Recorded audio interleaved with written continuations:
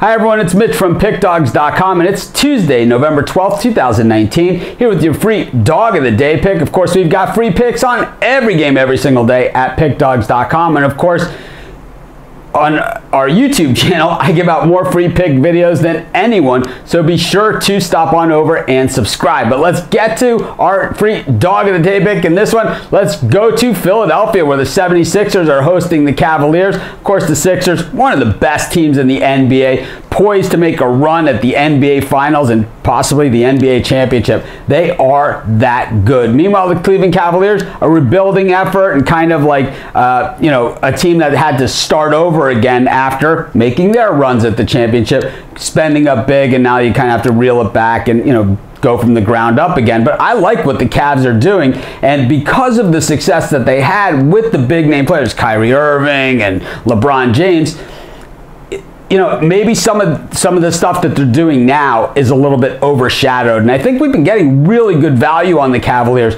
On uh, on Sunday, we got them as a dog against the Knicks. They blew them out of the building, and we're getting 11 points with the Cleveland Cavaliers in this one. I don't know if they, if they blow the Sixers out of the building. I don't I don't think that's going to happen. I don't even think they're going to win the game, but I think they keep it close enough. I'm going to take the Cavs plus the 11 points. I'm going to call them my dog of the day. This is Mitch. Thanks for joining me. Have a great day. We'll see you tomorrow.